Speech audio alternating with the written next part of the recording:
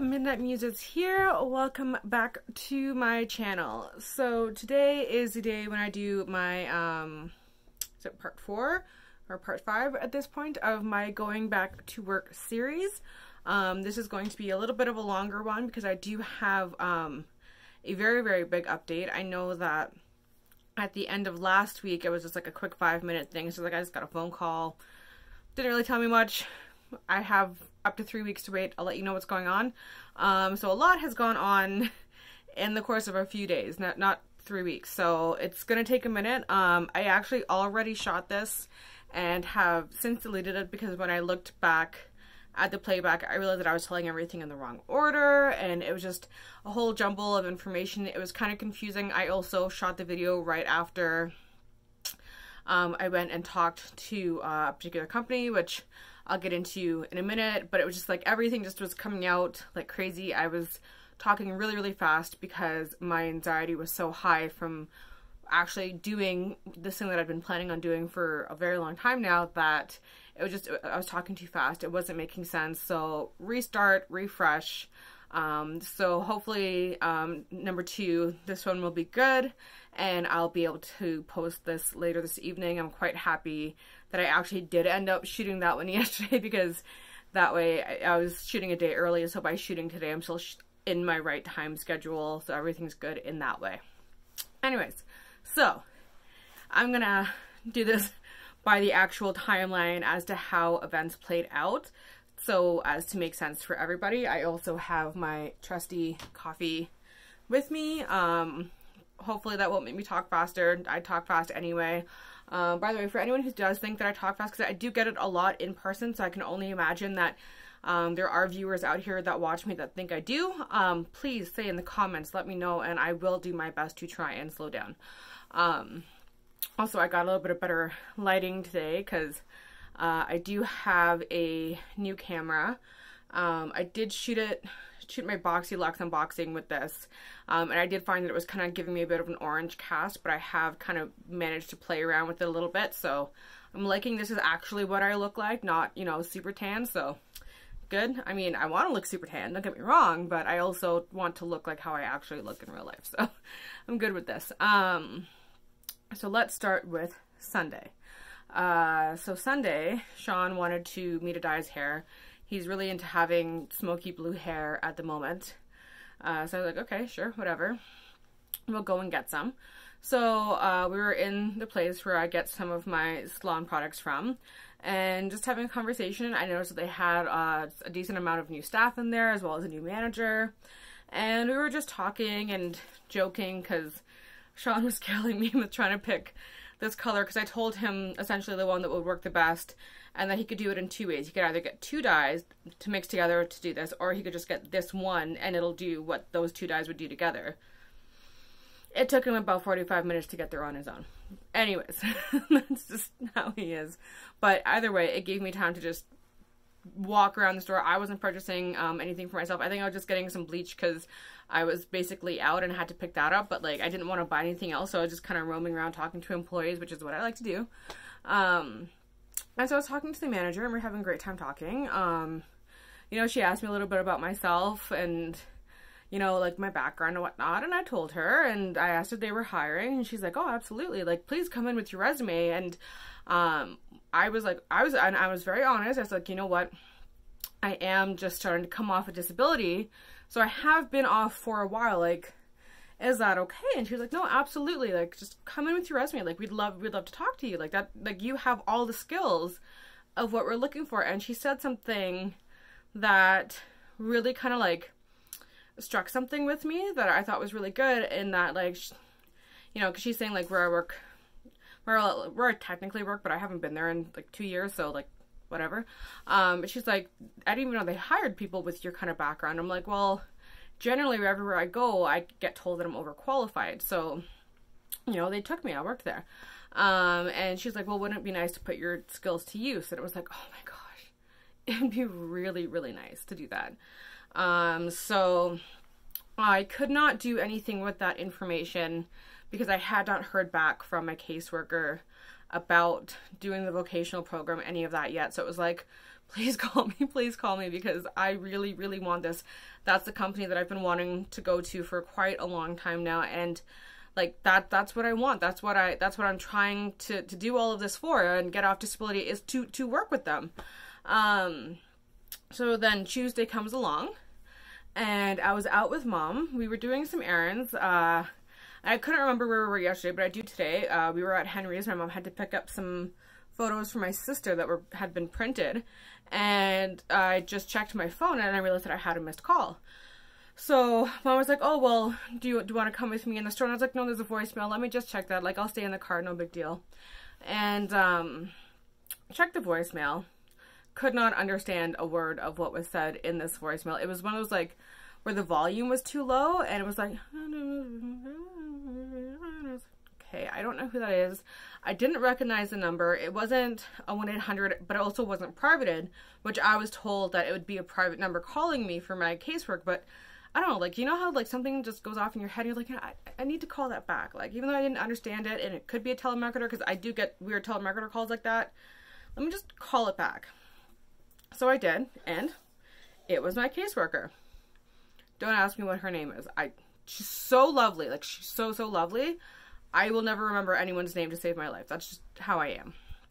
Um, and so, and it's funny too because I was told that keep your phone open, as as if anyone who's been watching the series will remember, keep your phone lines open because when they call, you want to be able to answer that call right away because you'll never get back to them.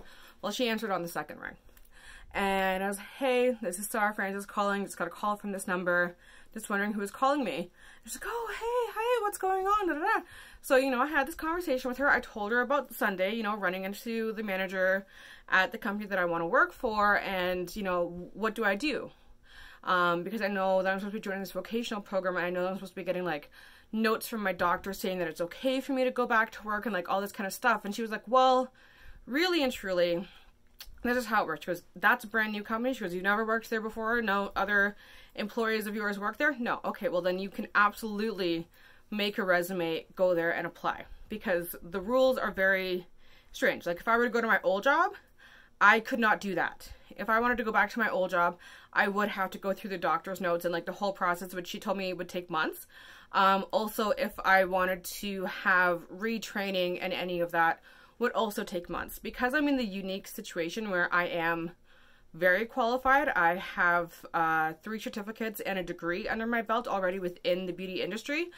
Um, as like I'd love to go for my hair license. Um, I did all the schooling, but I didn't do the apprenticeship or the test. Um, that is something that realistically, if if I work and save a little bit, I mean, it'd be after Sean and I have our wedding, but it's something that I could realistically do on my own. So I wasn't too concerned about that. Um, and with what I have, I can do freelance on the side and all of that on the side, no problem. I, I have all my licensing for that. Um, so I'm in a kind of a unique situation where I don't really need retraining. I just needed kind of that confidence boost and more help with the resume. Um, I used to be really good at resume writing. It just it'd been so many years since I've done one. the last time I actually like full out wrote a resume was when in 2012, which is seven years ago. Um, after I'd graduated from Sheridan, and that was the last one that I wrote a resume um, because even though I had two jobs between like in that time, when it came to going to the second one, I literally just added the bottom what the other one was. Like I didn't have to change it at all because it was in the same industry. Um, so this was, I was kind of nervous to have to do a completely new resume, and because I don't don't even know where those ones are, and they're old anyway. You kind of want to update that, and uh, so I was kind of nervous about that. But she said, no, go for it. Um i once i make a certain amount of money um well she said to call her if i get it and if i don't get it. And that if i do get it once i make a certain amount of money i have to let them know and then like there's a process that goes on from there. But point is i got the green light make your resume bring it in go talk to the manager see what happens. So obviously i'm not waiting on this. So Tuesday night, I get home, I touch up my roots so that they're all, you know, nice and fresh. And then um, I had also gotten some green Arctic Fox hair dye because I've been trying to dye my hair green for like three months. Uh, so Wednesday morning, did the green, which is perfect. It is exactly how I want it to be. It does look slightly teal on camera, but I'm telling you, it's like the perfect shade of green. And it's like kind of like acid yellowy green at the roots and then it goes into like a, a deeper acid green. It's, I love it so much. My hair is so like weirdly curly and messy. Anyways, um, so Wednesday morning I got up early, did that with my hair. Um, got my mom was so so nice, and and she put Word back on our computer. Um, and they had resume templates on there, which was fantastic. So so much easier. And then I was able to build myself a new resume, write it out, printed it out, went to said company. Manager happened to be there. Um, I, I loved her expression when she saw me. She smiled really big. She definitely had that whole like recognition. Of, oh my gosh, you came in. I was like, hey, it looks like you remember me. I hope you remember me. You said to come in with my resume. I'm here with my resume. And just like that, she booked me in for an interview. Um, so I have to go back on Monday. I'm terrified. I am excited. I am feeling a lot of different emotions about it. Uh, mostly good things. I think, um, and I had group therapy today uh, where I really got to talk about how I feel about it, but I'm gonna kind of give you the highlights of it here, which is I'm feeling all kinds of ways about this. One, this is what I've wanted for a very, very long time. So it's that fear of will I get it or will I won't, and what happens if I don't. Because um, I'm very much a black and white thinker. I'm an all or nothing thinker. It's the like this is what I've been working for. I like, please let me get this. I've worked so hard to fail now. Um, and two because i am in such a horrible financial situation that it's like i need this like i not only have i worked specifically towards this company but like i need any job and if i could get my like at this moment my dream job right now like that would be like whew so many like big moments for me but at the same time too and this is something that i've realized that i've never heard anybody talk about and i would really love to talk to somebody who's been through this because it's so weird. And that is the when you've been on disability um, especially with me you know i got told that you know you have an incurable disease um, and then you want to go back to life. You want to go and have a life. Um, you know like my, my goal is to have this job so that sean and i can have our place we can have our wedding we can start our family. Um, how do you go back to that? I've been off for years. I've been living at my parents house because they have been wonderful enough to let me stay here rent free because if they didn't i'd be on the street but how do you go back to being a normal member of society? Like, how do you do that? And how do you do that successfully? Because I've been off for so many years, I've gotten into a good routine. Yes, you know, I'm eating much better. I exercise all the time. Um, I'm doing my art consistently. I'm cleaning consistently. Like I'm, I'm being good. Like I've, I'm so stable right now. It's kind of weird, but I'm doing it all in the house. essentially. Like, I mean, I go out for walks, but everything else I literally do in the house.